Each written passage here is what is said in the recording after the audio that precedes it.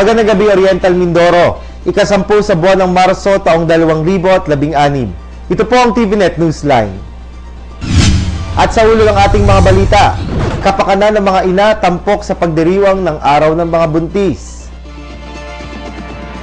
Pagdagsa ng mga pasahero ngayong Simana Santa pinaghahandaan na. At apat na katao arestado sa magkasunod na buy-bust operation sa lungsod ng Kalapan. At sa detalye ng ating mga balita, 50 beds, ito ang madaragdag sa kasalukuyang mahigit 300 hospital beds na ginagamit ngayon sa Oriental Mindoro Provincial Hospital sa oras na matapos ang ginagawang bagong gusali ng naturang pagamutan. Mula sa Department of Health ang pondo ng naturang proyekto na tinatayang matatapos ngayong taon. Ayon kay Chief of Hospital Dr. Murphy Marasigan, kasama ring ilalagay dito ang iba't ibang opisina, klinika at blood bank. Baba, ay di yung ibang opisina at saka clinic ng mga doctors yun ang ilalagay namin. Saka, siguro yung iba namin ko, puno na rin. Yung blood bank, doon namin ililipat. At least may is yung yung pasyente, I mean, yung congestion. Kaya lang siyempre, pag lumaki yan, madami pa kaming, hindi naman namin tinatanggihan. Actually, pag nalaman, ay puno lang, puno pala, lipat na lang kami. So, lumilipat sila. Sa kabila nito, hindi pa rin aniya sapat ang dagdag na espasyo para sa mga pasyenteng dumarating sa OMPH araw-araw. Dahil ito na ang pinakamalaking pampublikong pagamutan sa lalawigan. Marami ang nagtutungo dito upang magpagamot kung saan hindi lamang mga taga-Oriental Mindoro ang nagiging pasyente kundi maging sa mga taga-kalapit na probinsya. Hindi lang Oriental Mindoro nakikilabang dito.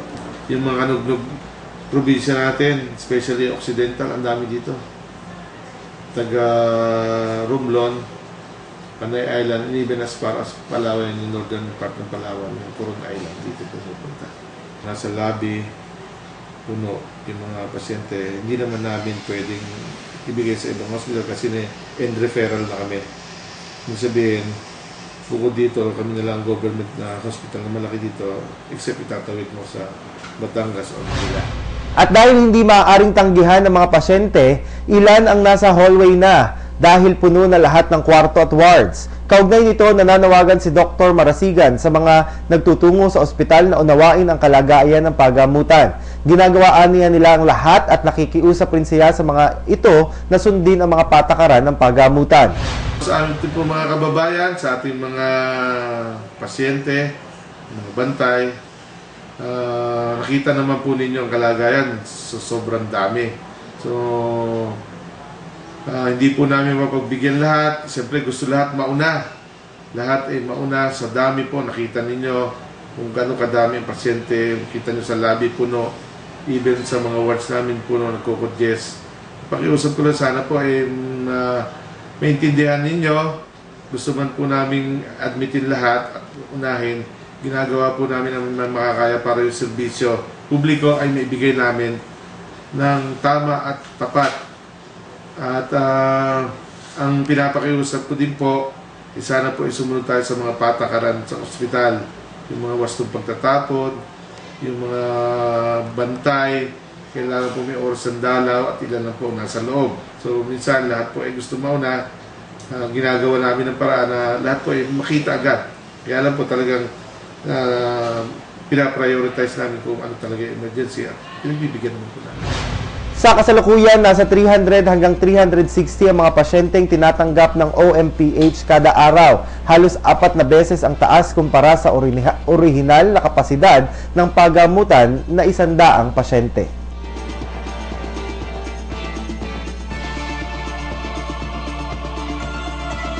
Samantala, ang rabies ang isang sakit na bawat dapuan ay tiyak na kamatayan ang sasapitin kung hindi mabibigyan ng agarang lunas. Ayon sa World He- Health Organization, isang Pilipinas sa top 10 sa pinakamaraming mortality rate kung saan umaabot hanggang 6 na daang katao ang binabawian ng buhay taon-taon. Kaya naman ngayong Rabies Awareness Month, iba't ibang ah, proyekto ang sinusulong ng mga ehensya upang maiwasan na mabiktima ng rabies. Ayon sa World Health Organization, ang Pilipinas ay ika-anim sa mga bansang may mataas na bilang ng namamatay na tao dahil sa rabies. Batay sa tala, halos umaabot sa anim na daang katao kada taon ang nawawala ng buhay sanhi nito. Ang rabies ay dulot ng virus na nakakaapekto sa central nervous system na nagmumula sa kagat o laway ng isang hayop na tagapagdala ng rabies, partikular na mga aso. Kaya naman ngayong Marso bilang selebrasyon ng National Rabies Month, iba't ibang programa ang inilunsad ng Provincial Veterinarian's Office. Sinimulang isulong ng ahensya ang rabies awareness seminars and campaign na may layong mabigyan ng sapat na kaalaman ng publiko tungkol sa rabies. Gayon din ang pagtuturo ng mga batas na nagbabawal sa pagkatay at pagkain ng hayop na posibleng may taglay nito tulad ng Animal Welfare Act at Anti-Rabies Act na pawang nagpaparusa sa mga lumalaban dito. Maigpit ring ipinaalala ang responsibilidad ng mga pet owners na bukod sa pagpapabakuna ng alaga nila, tungkulin din nila na bayaran ng danyos at perwisyo kapag nakakagat ang mga ito. May kaukulang parusa sa mga hindi susunod sa batas at maaaring magmulta hanggang 25,000 piso. Ayon kay Veterinary 4 Dr. Alfredo Manglikmot, bukod sa pag-disseminate ng mga impormasyon ukol sa rabies, inuuna din nila ang regular na pagbabakuna ng mga alagang hayop para masiguro ang kaligtasan ng mga mamamayan. Ang Rabies Month nga ay sineselebrate every March ng ano ng ng taon. So, yun ay dineclare ng national government para nga bigyan ng pagkakataon na itaas yung awareness ng tao tungkol sa sakit na rabies saka yung para ano yung makatulong sa pagsugpo nito sa ating ano sa ating ah, bansa no? Ah, inaasahan no, ang, ang hangad ng national government ay maging rabies free ang Pilipinas by 2020 so lahat tayo lahat ng ahensya lahat ng tao ay inaanyayahan na makiisa para matupad yung ah, pangarap na yun. Doon sa ginagawa namin, ah, ah, nagbabakuna kami ng mga aso tapos yung gumagawa rin kami ng mga informational ah, campaign. Kaya lang ah, hindi pa rin ito ah, sapat, no. Talagang kailangan talaga dito ay yung suporta ng ano ng ating ng bawat isa sa atin, bawat mamamayan, no. Kasi kahit magbakuna kami ng aso kung paliligawin lang nila ang kanilang mga alagang aso, no. May makakagat pa rin, no. May makakagat pa rin, no. May ma- may mga maaksidente sa daan. So ano pa rin no, yung talagang kailangan ah, magtulungan ang ang mga ahensya at yung mga kababayan natin para nga ah, maging ano maging epektibo yung ano yung ginagawa natin. Anya pa, bukod sa aso, ang rabies ay nakukuha rin sa mga pusa, daga at paniki. Kung nakagat, nakalmot o nalawayan ng mga ito, kaagad na obserbahan ang mga sintomas ng rabies tulad ng pagkakaroon ng lagnat, sakit sa ulo, pananakit ng katawan, panunuyo ng lalamunan, pagkahilo, pagsusuka, pagkatakot sa tubig at hangin, pagkasensitibo sa liwanag at tunog, at pagkaparalisa ng katawan. Pinakadelikadong parte ang ulo dahil mataas ito at malapit sa utak. Bilin pa ng veterinaryong simulan ng ugaliin ang pagpapabakuna sa mga alagang hayop taon-taon upang masigurong wala itong rabies. Nang sa gayon ay hindi na madagdagan pa ang tala ng mga kaso ng namamatay dahil dito. Rodora Fajardo Labendino, nag-uulat. Magbabalik po ang TVNet Newsline. Dis oras ng gabi, habang tulog ang mga anak mo, may kaguluhan sa kapaligiran. Talamak ang bentahan ng droga. Nakawan. Apektado ang kaayusan. Hindi maganda ang mga pangyayari sa kanapan. Sagabal sa kaularan. Hindi nila masolusyonan.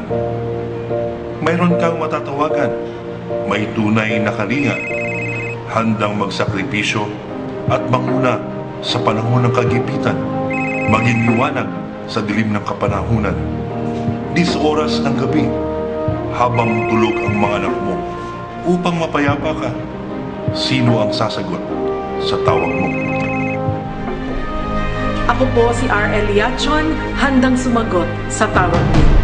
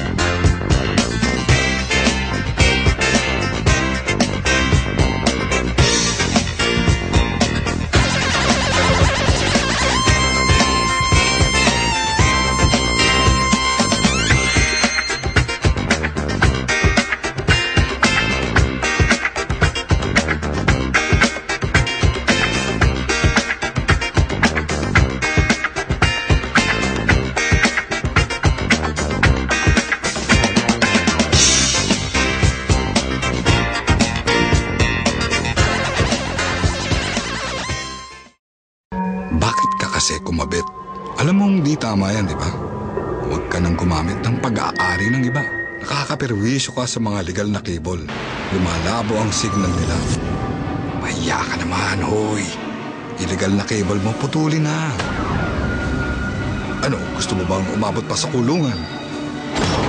Umiwas ka na sa gulo tsaka skandalo. Huwag maging kabit. Magpakabit ng tama ngayon. Supported by PCT. Good news po para sa lahat ng subscribers ng Cable TV at Cable Internet. Naisabatas na po ang Anti-Cable Television and Cable Internet Tapping Act of 2013. At ayon dito, bawal makitabit ng Cable TV at Cable Internet.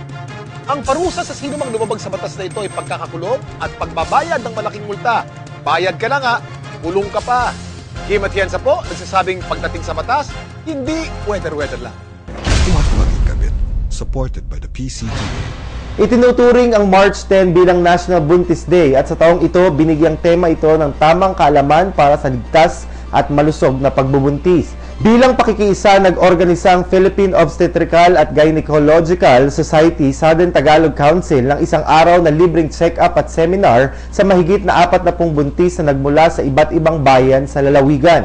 Binigyang halaga sa nasabing okasyon ang pagbabahagi ng mahalagang mga impormasyon kaugnay sa prenatal check-up, kahalagahan ng intrapartum, breastfeeding, family planning at ang mga danger signs sa, sa panahon ng pagdadalang tao. Ayon kay Dr. Marian Katsa, layunin ng kanyang grupo na magpagtuunan ng pansin ang kalusugan ng mga buntis at ang kanyang dinadala. Aniya, importante na masubaybayan ang kalusugan ng mga buntis dahil dalawang buhay ang nakasalalay dito. Ibinahagi rin sa nasabing okasyon ang mga kahalagahan ng tamang panahon na may psikolohikal at emosyonal na paghahanda maging ang edad ng pagbubuntis ay may malaking impluensya or posibleng magdulot ng, ah, ng komplikasyon sa ina at sanggol na dinadala. Oh, yung mga specialista, mga obstetricians, nandito lahat halos ngayon. Kasi it is sponsored by the Philippine Obstetrical and Gynecological Society. So, lahat kami actively participating in this particular activity. So, dapat ay responsible ang ng mga nagbubuntis. Alam nila ano mga pamaraan para kailan nagpapacheck up sila para masiguro na maayos ang kanilang pagbubuntis, walang komplikasyon. Kasi kung magkakaroon ng aberya pagbubuntis, magkakaroon din ng abnormality ang mga anak nila at na maapektuhan ang pamilya at ang buong pamayanan. Samantala, kabilang sa mga OB-GYN doctors na dumalo sa naturang okasyon, sina Dr. Melinda Goco, Dr. Amy Inzon, Dr. Cristina ah, Senor, Sinoren at Dr. Maria Consuelo Abuel, Dr. Charlie Santiago, Dr. ah, Ria Ravera, Dr. Christy Magno, Dr. Cres Gutierrez, Dr. Cynthia Pisalbon at Dr. Cristina Gonzalez.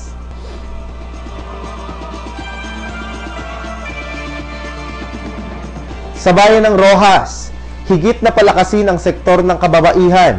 Ito ang siyang layunin ng iba't ibang aktibidad ng Rojas Municipal Police Station kaugnay sa selebrasyon ng buwan ng kababaihan.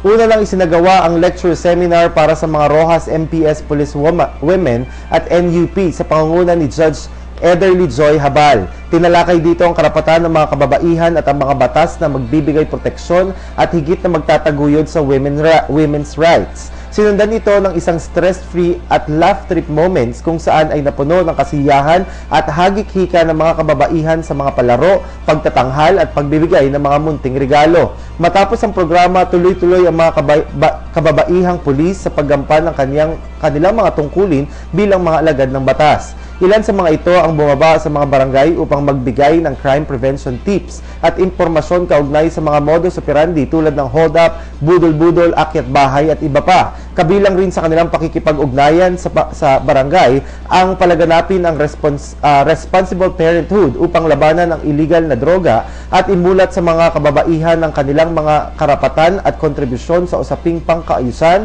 at pangkapayapaan ng kanilang bayan.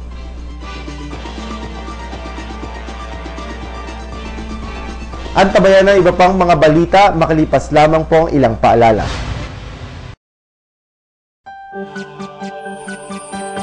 Sa Juan Carapan, una ang mamamayan. Bigay todo ang serbisyo, pag-asenso ay sigurado. Sa One Kalapan, may libreng edukasyon. Maginhawa ang kinabukasan. Agad may trabaho. Panalo! Sa One Kalapan, kalusugan, kinalangalagaan. Bring gamot makukuha. Laboratory test, abot kaya. Panalo! Sa One Kalapan, masiglang agrikultura. Kaya maunlad kaming mga magsasaka. Kasama pati kaming mga mangingisda. Manalo! Sa One Kalapan, kaming may maliliit na negosyo, umaasenso. Mga investors, may insentibo. Kalapan, Hall of Fame awardee. Sa One Kalapan, ligtas ang mamayan dahil sa maayos na kandaan. Kampanya laban sa droga. Sagot sa kayusan. Sa One Kalaban, number one ang kalinisan at may bunsig ang kapaligiran. Dinarayo bilang lugar pasyalan. Panalo! Sa One Kalapan, mas pinabilis ang proseso ng papeles. Sa taxpayers, naging kumbinyente. Tatlong hakbang na lang po. Panalo! Kapag una ang mamamayan, bigay todo lagi ang serbisyo, pag-asenso ay sigurado.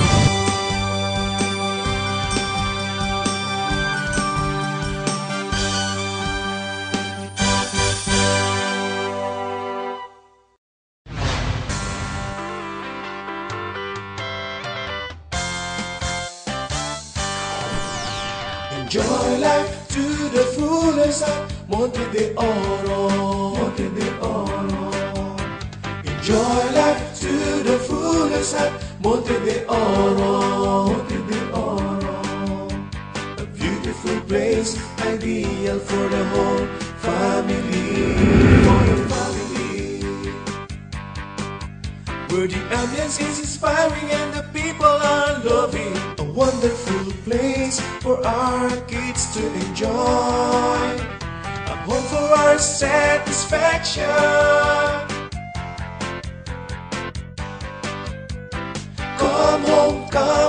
Let's enjoy life worth living at Monte de Oro.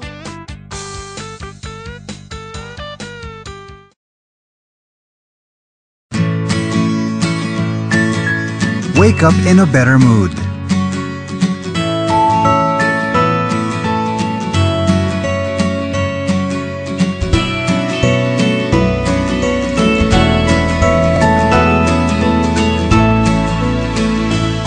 Look better with cleaner clothes.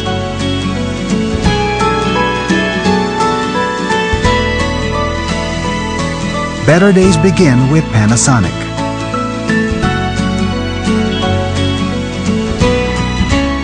Smart ideas for a better life.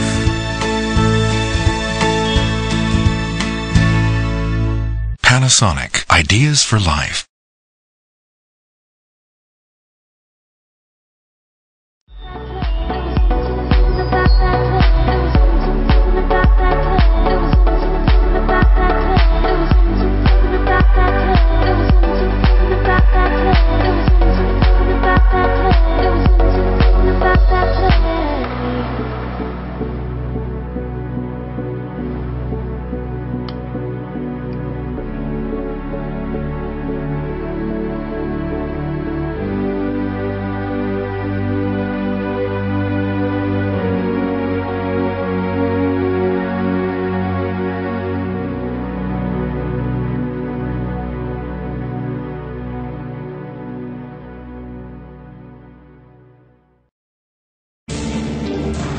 Waiting is over.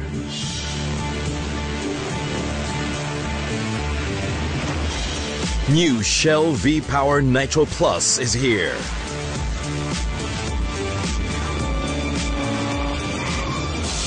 Designed to start working the instant it hits your engine and help improve performance.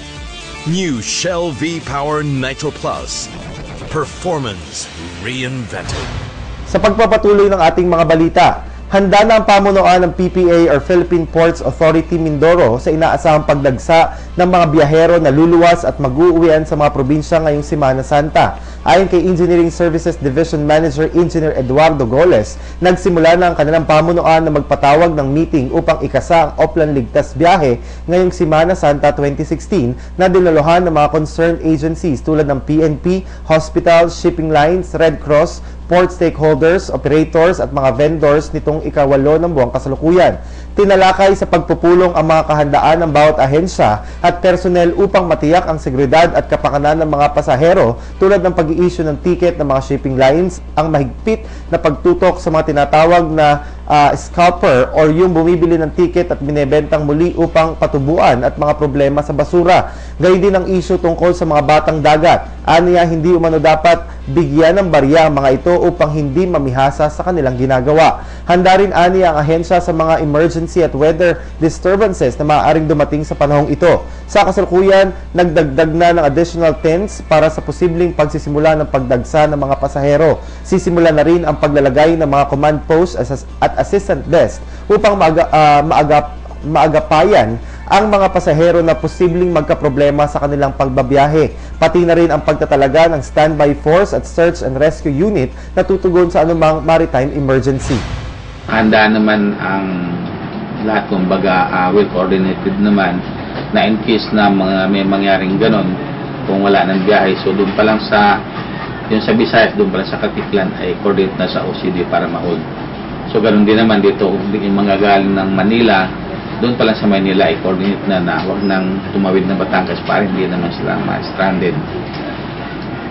So sa ngayon na nag-start na na nag-put up ng mga yung additional tent yung PTD operator para sa mga ibang pasahero at ah, ang ang uplan ay mag-start ng itong ah, March 18 hanggang 29 kaya bali po sa Friday ay i-start na ng paglalagay ng mga yung command post para dun sa mga magjo-duty ng mga agency para mayroong mag-intindi dun sa may kung mayroon mga reklamo or mayroong mga kailangan na yung information na kailangan ng mga pasahero.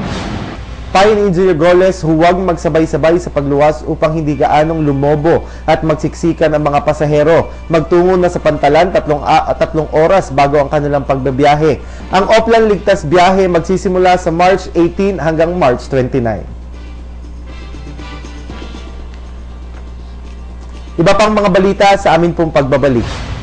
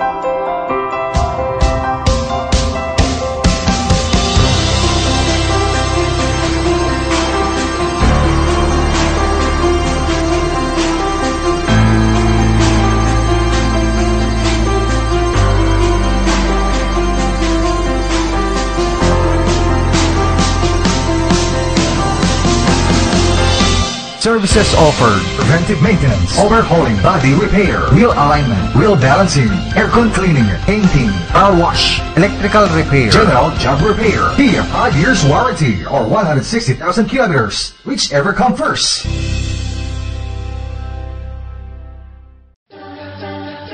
Get connected now at our new upgraded internet packages at affordable prices. Up to 1 MB, 999 pesos per month. Up to 2 MB, 1,299 per month. Fast and reliable internet connection. No phone line needed. No antenna. Instant lag on. Unlimited, unlimited data usage. Data usage. Unlimited data usage. Plus, you can enjoy over 80 power pack cable TV channels with superb quality signal. Hurry! Apply now at TVNet Office, Unit D, GLC Building, Juan Luna Street, San Vicente North, Calapan City with telephone numbers 043-288-4240 or 441-3182. So what are you waiting for? Get, connected, now!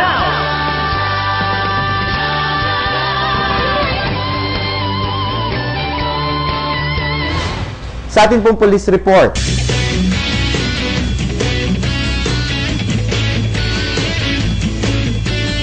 Apat na katao ang arestado sa magkasunod na buy-bust operation ng Calapan City Police Station sa ilalim ng superbisyon ni Police Superintendent Jonathan Pagio, Chief of Police ikasyam ng buwang kasalukuyan. Unang naaresto bandang alas 2 ng hapon sa Hidden Village, Barangay Camilmil, sina Luvil, ah, Luvil Pereda alias Bebe, 30 anyos at Mark Jason Chua, 28 anyos, pawang residente ng naturang barangay. Sa ulat ng Kalapan CPS, nakabili kay ah, Pereda ang nagpanggap na buyer ng isang sachet na hinihinalang shabu sa halagang 300 piso na nagresulta sa pagkakaaresto sa kanya at sa kasamaang si Chua. Na-recover rin sa posisyon ng huli ang tatlong sachets na naglalaman ng hinihilang shabu, improvised ah, tweezer, needle, foil strips, ah, ballpen, lighter, cellphone at 300 pisong blattered money. Samantala, alas 9.45 naman ng gabi ng nasabi pa ring araw nang isagawa ang kaparehong anti-illegal drugs operation sa sitio Puok de Oro, Barangay San Vicente North na nagresulta sa pagkakadakip kina Zomer Quasay, 35 anyos, residente ng naturang barangay at RJ Valdez, 18 anyos, residente naman barangay Lalud. Sa ulat ng Kalapan ah, CPS, isang sachet ng hinihilang shabu ang nabili ng nagpanggap na buy, ah, buyer na, sa suspect. Na-recover naman sa posisyon ni Kwasay ang isa pang sachet na naglalaman ng hinihinalang shabu, isang digital weighing scale, lighters, at ang 500 pisong blattered money. Nahaharap ang apat sa kasong paglabag sa RA 9165 or Comprehensive Dangerous Drug Act of 2002. Maaari niyo pa rin po kaming mapanood sa YouTube. I-type lamang po ang TVNet Newsline. Samantala, happy viewing kay Jeryl Mendoza at kay Rodney Ginto. At yan po ang kabuuan ng mga balitang nakalap ng Newsline staff and crew para sa araw na ito. Para po sa inyong comments or suggestions, mga balita at impormasyon na nais niyong iparating sa aming programa, tumawag po lamang sa TVNet hotline sa, numero, sa numero bilang 043-288-4240. Ito po ang TVNet Newsline, katotohanan at serbisyo hatid sa mga Mindorenyo. Ako po si Maximo C. Closa Jr. na nag-iwan sa inyo ng isang mapayapa at magandang gabi. Marami pong salamat sa inyong walang sawang pagsubaybay.